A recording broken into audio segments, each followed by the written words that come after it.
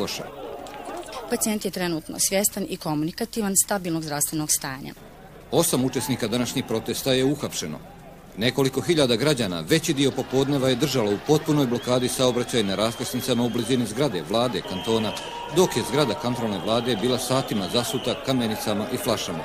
Trenutno jak policijski kordon demonstrante drži udaljene od zgrade vlade na samo nekoliko metara.